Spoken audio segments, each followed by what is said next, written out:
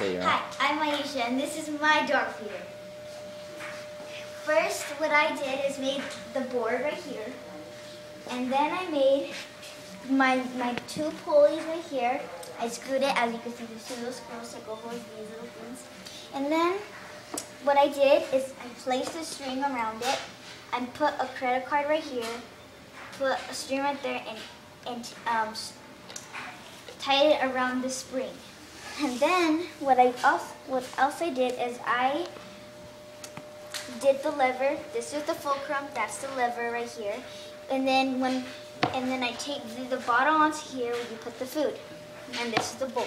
Now when when the dog presses its paw right here, the credit card will move this way, and and then the food will go into the bowl right here.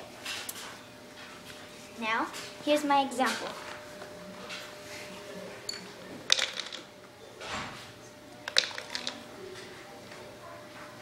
Alicia. Okay, ready?